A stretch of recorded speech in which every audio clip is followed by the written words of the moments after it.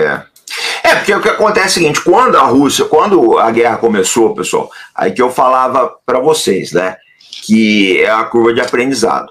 Quando a guerra começou, o russo não estava habituado a lidar com o Bayraktar, eles não estavam habituados. Aí eles foram pegando o bisu, cara. Eles foram pegando o bisu.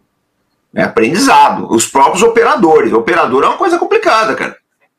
O cara que opera radar, que opera guerra eletrônica, o cara opera um sistema de guerra eletrônica. Ele chega, ó, esse sistema aqui não está operando bem nas faixas tais, tais e tais.